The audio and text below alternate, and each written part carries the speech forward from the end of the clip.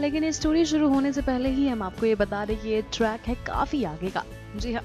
दरअसल अब आने वाले ट्रैक के अंदर जो कि ज़ाहिर है कि अभी फ्यूचर स्टोरी है तो आपको बता दें कि उस फ्यूचर स्टोरी के अंदर आप ये देखेंगे कि कैसे अब अनिका का सच सामने आने के बाद शिवाय समर में होगी सबसे बड़ी जंग। और ये जंग तब खतरनाक मोड़ ले लेगी जब ये लड़ाई सिर्फ़ बिज़नेस राइवलरी ना होकर अनिका को पाने के लिए हो जाएगी।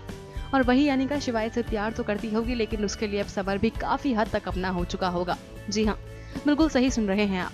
आपको बता दें कि सीरियल इश्कबाज के अंदर अब बेहद मज़ेदार तरीके से देखने जा रहे हैं आप कि कैसे कैसे शव की कहानी घूमेगी, तब जब शिवाय के सामने आ जाएगा सारा सच। कि अनिका ने उस दौरान जो कुछ भी किया था, वो उसकी गलती नहीं थी, बल्कि ये सब अनिका ने इसीलिए किया था ताकि शिवाय उस अपने काले साय से दूर रह सके और उस सच को जानने के बाद अब अनिका को किसी भी हालत में पाना चाहता होगा शिवाय। लेकिन तब तक अनिका के लिए समर की मोहब्बत भी परवान चढ़ चुकी होगी, जिस मोहब्बत की अब कोई हद नहीं होगी।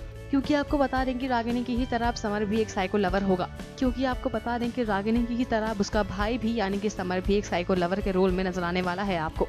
जिस प्यार की ही वजह से अब पहले शिवाय और अब अनिका को क्या क्या नई मुसीबतें झेलनी पड़ सकती हैं, ये देखने वाले हैं आप। तो जुड़े रहिए हमारे साथ इशकबाज की प्रेजेंट से लेकर फ्यूचर स्टोरी जानने के लिए और साथ ही सब्सक्राइब कीजिए हमारा channel top news just for you top news से आस्था की रिपोर्ट